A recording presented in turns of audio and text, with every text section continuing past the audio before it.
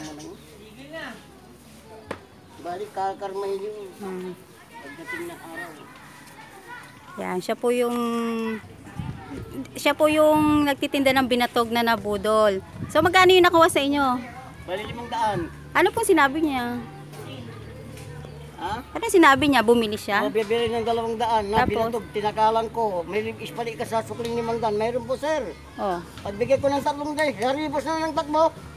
Naka ano pong sasakyan po niya? Motor, hindi ko Ah, nabasa yung number eh. Oo, siya po yung na, nakapost po sa Facebook na nabudol po. So, si tatay po na nagbibinatog na nagtatrabaho po ng marangal, siya pa po yung nakuwanan. Parang naloko. So, kawawa naman si tatay. Pa, Hindi. Haribos ko agad eh. buti. So, yung sa hirap po niya na pag, ah, pagbabike, para, makapa, para po may pantustos sa pamilya niya. So, ilang, ah, eh, nawala ng ganun-ganun lang. Ay, may bibili pa.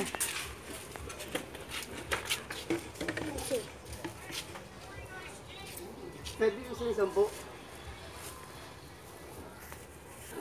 Sige, tuloy niya lang. Asin. So, hanggang ano oras niyo natauubos yung binatog? Alas 5.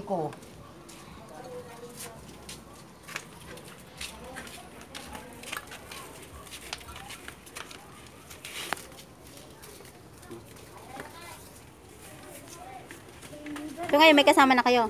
Kasama ka na? Hindi. Ah, yatid lang. Yatid lang sa ilan. Ah, so mag-iingat po kayo.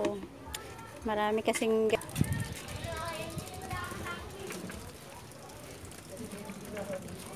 So, mula po sa tirahan nila, itatawid pa huto ng bangka ng ilog.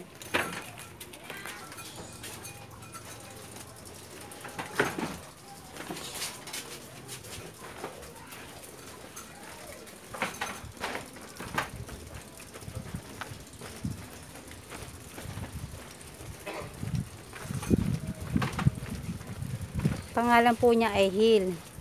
Nakatira po siya dito sa Ususan. Kilalang kilala po siya dito, siya yung magbibinatog.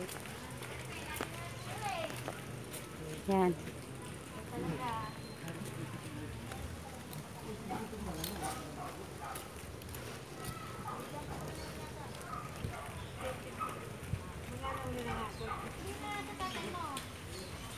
Pabila ka, pipangil! Yan. So mula po dyan, kasi ang bahay po nila, tatawid po ng ilog, yung tinatawag na ibayo, sasakay pa ho yan ng bangka. So dito po nakatira si Kuya Hill, yung nagtitinda po ng binatog na nabudol. So nakapanayam na po natin siya kanina. So ngayon po try natin kausapin yung asawa. Yung asawa ni Kuya Hill, yung nagbibinatog na nabudol kahapon. So, yung, tinuro ko po kanina yung bahay niya at ito na po siya. Meron din silang munting negosyo. Gawa ng pandemic mo, kailangan po magtulungan sila mag-asawa. So, kanina, nakapatay, nakapanayon natin si Kuya Hill. Paalis na po siya, nagtitinda ng binatog. So, ano po sabi ni Kuya Hill kahapon? Nung dumating, Ayun nga yun, sabi nga niya, naloko daw siya. Mhm. Bumili daw, may bumili daw ng binatog na halagang 200. hmm, Tapos sabi daw niya, sabi daw ng bumili, kung may isusukli daw doon sa halagang 500. Sabi naman niya, mayroon po, may 300 na ako. Sabi. Tapos, sabi, sabi daw ng bumili ng binatog, amin na daw yung 300 kasi bibili daw muna ng plastic bag. oo. Tapos sumakay na raw sa motor, umalis na, hindi na niya nahabol. So, hindi lang pala 500 yung naloko. 500 na cash. Ay, hindi. To, 300 na tas, worth, oh, tapos 200 na worth ng binatog. Tapos nag-iwan pa ng limang pirasong turon at saka yung yung parang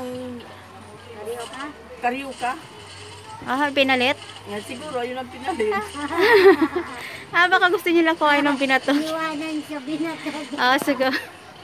Kita niya sa isang araw. Ah, so iba-iba siya.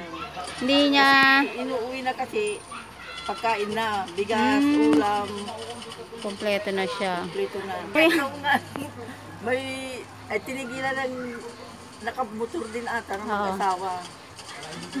Buti, ah, kahit pa paano, medyo maliit yun. Pero malaking bagay na yung, ano, di ba? Worth 500 na ano yun. Ilan na rin yung may ano mo. Wala nga tubo doon, walang pambiling bigas pagka ano, Mm. pagka sakali na ubos yung binatog, wala nang tubo doon. Na Oo. lang. O yung 500 na yun, pwede nang pandagdag po dito sa tinda nilang mga tinapay. Mga may palaman, ano ba to? Mga champong-champong. Malaking tulong po sa kanila yon na kinuha pa. Nakuha pa sa kanila kahapon. Ibali naman po, yung nawala naman na yon may kapalit naman po siya. Okay. So, ah, pagpalagay na lang natin na yung kumuha na na yung nangangailangan. Gusto niyang kumain ng binato. Ayun. May pera pa. Opo. Oo. So, sa ngayon, ah, ah, may mga pupuntang tutulong po sa kanya. So, ano oras po uwi ni Kuya? Ni mga alas 5 na siya. Binatog lang ba tinitinda niya? Hindi, dati, dati si tatay nagtataho din eh. So, ngayon, binatog. Masipag po talaga yon Si Mang Hill, oo. Lang. So, yung halagang 500 na sinasabi nakuha, ako na pong magpapalit. Yan, dodoblehin ko na lang para makapagpahinga naman si Kuya Hill. Rest day niya. Yan. So, bukas, babalik ako. Total, malapit lang na naman ako. Doon ko na iaabot. Lalo pagpunta niya na lang dito, no? Yan. So, ito po yung pamilya ni Kuya Hill, ah, Hill Miranda. Sila po yung ah, pamilyang nagbibinatog na nabudol. Kaya po sa mga tao po dyan, ah, mag-ingat po tayo sa mga nakakasalamuha nating tao. Wag basta-basta makipag-usap. Yan. Maging ano po tayo, ah, aware, vigilante. Yan.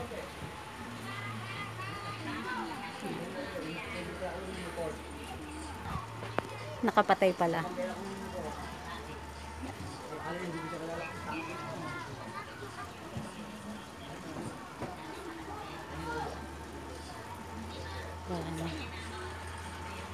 So, ang trabaho ni nanay, nagtitinda po siya nito.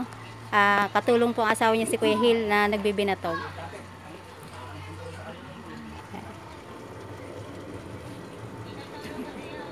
Sama kita.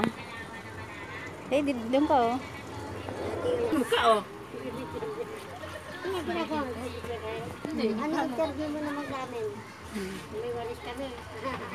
Mamaya pa po. alas 4. Huwag isa, isasama kita. Ayoko, walang mas. Para kunwari bumibili ka.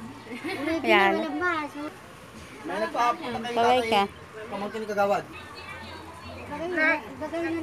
Yan. Pakukulong na kayo?